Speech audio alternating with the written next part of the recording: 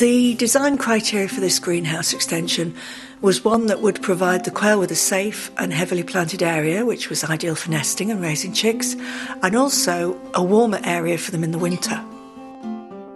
Normally, my quails sleep in a little pallet wood house we made for them, but they tend to like to sleep outside on the ground in little dugout sleeping nests that they make. They also do tend to pair off in the breeding season, and I've noticed recently that they sleep together in pairs with their wings intertwined.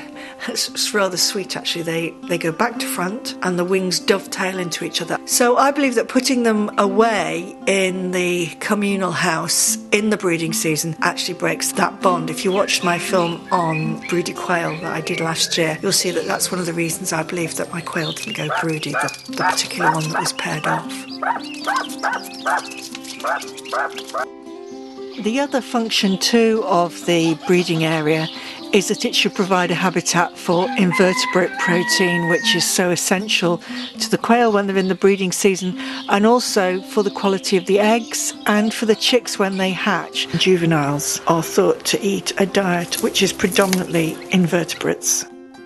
The extension was also deliberately angled to avoid narrowing the pathway and view to the chicken coop.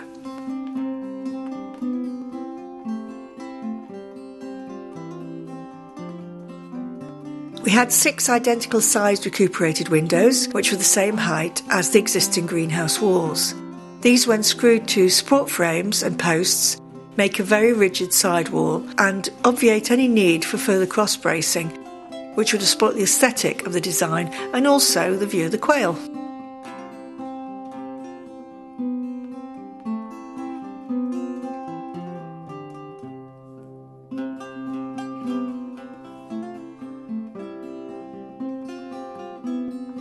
With regard to the construction of the roof, uh, we made a jig out of pallets, you can see it here, to create identical roof trusses.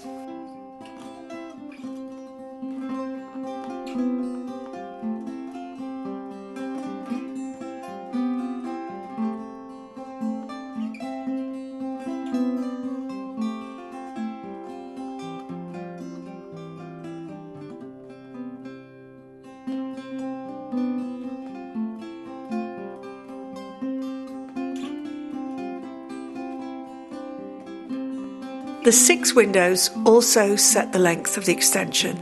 The rest of the structure was covered with 200 micron UV stabilised polythene sheeting.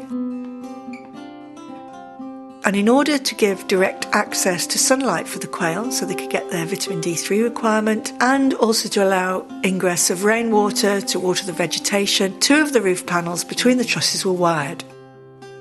They also had detachable polythene panels to cover this wiring in the winter and keep the quail warm. Hello!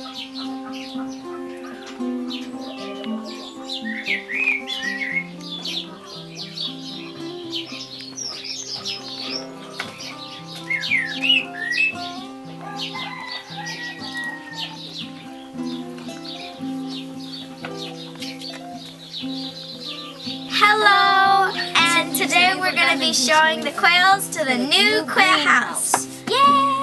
One.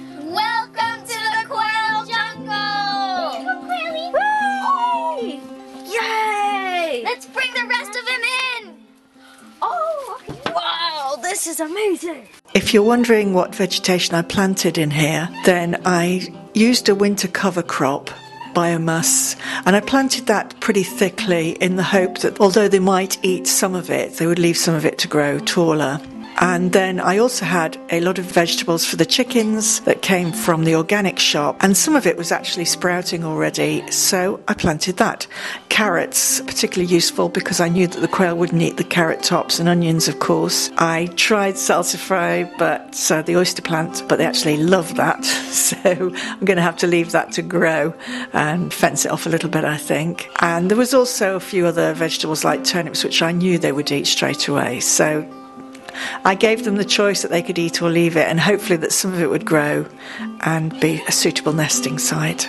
Providing that should make the quail think that this is a good environment for them to breed in, and they're already showing lots and lots of courting behaviour.